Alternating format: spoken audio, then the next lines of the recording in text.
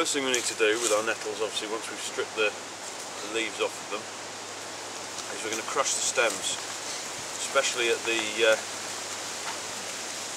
the nodule parts on the stem where you get a hard ring. Right, okay. Against the back of your knife. Yep. All I'm doing is literally just pulling it through, pressing it against the handle of my knife. Yeah.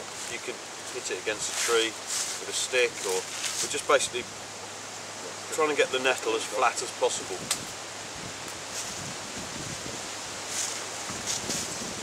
And the reason we're doing that is so that we can extract the fibres from it because we don't want the, the pippy bit in the middle, we just want the fibres that go up the, the. Now if you break it in half and give it a bit of a, a wiggle, you start to see how the fibres break away from the outside piece. Now this is the bit that we want. Is this outside fibre. So as we start to break the nettle away, we can start to strip off the fibre in lengths. Now this is this is the bit we want. It's this piece here that's coming away. Now if you can get that off as long as possible, you make for a much easier job in a bit when we actually come to do the cordage. Just roll the nettle around, get as much of this fibre off it, off the outside of it as you can.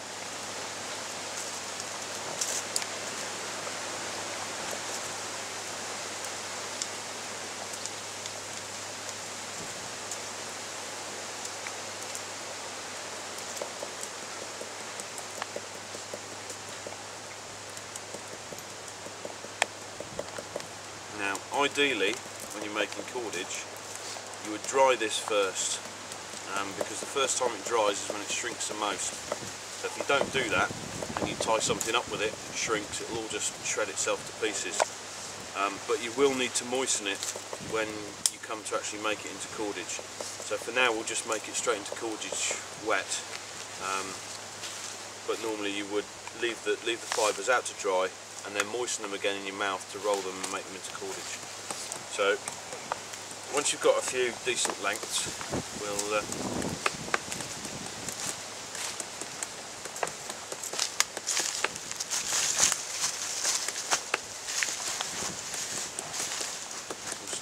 uh,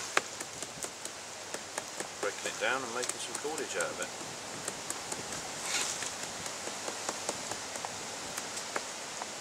Okay, that'll do for now.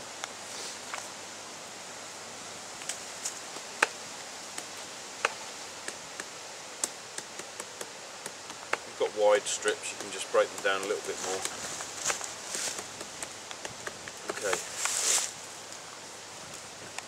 I'm do, take a piece of cordage in the middle and start to roll it. Hold one end and roll the other end. Once you've rolled it nice and tight, let the two come together and they'll start to twist. Now if you keep rolling these in the same direction each way, they'll slowly start to twist together. So roll one side then the other and bring them together. Roll one side, roll the other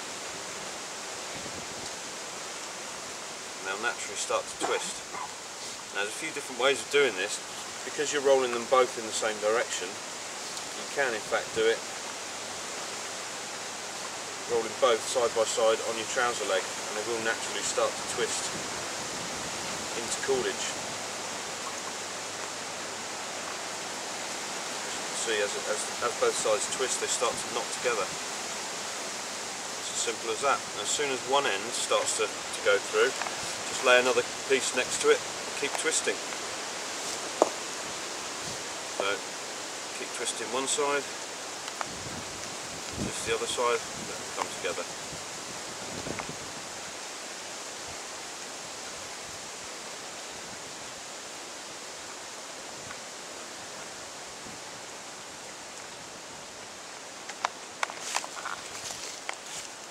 And you're starting to create string. And with enough of this, just create many, many lengths of this and then do the process again with those pieces, they'll start wrapping around each other and eventually you can build up, you can have rope as thick as you want it or string cordage as strong as you, as you Is like. that how they used to make it out of hemp? Yeah. It's exactly the same process, so it's just a constant rolling and letting them twist. So as long as you're rolling both sides in the same direction, the rolling motion actually starts locking the fibres together. That, that's what causes the twist, and they'll lock together.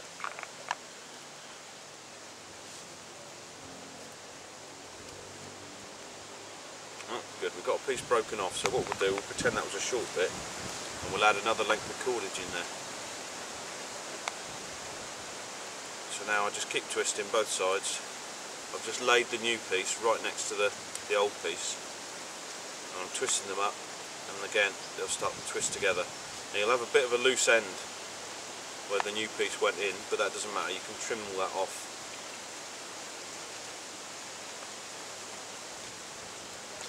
Once your cordage is finished, you can start to trim that down. So that's how you make cordage.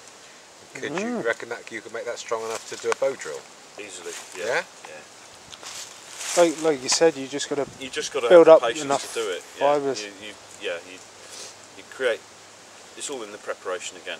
Create all your fibres, get them all laid out, get them all dry, wind them all together. It's quite time consuming. You do it with dry ideally. Yeah, yeah. You have to let them dry first Right, because that's when they contract. Right, okay. Um, and then you moist, moisten them through your mouth, or whatever, just to just so that you can roll them and get them to bind together.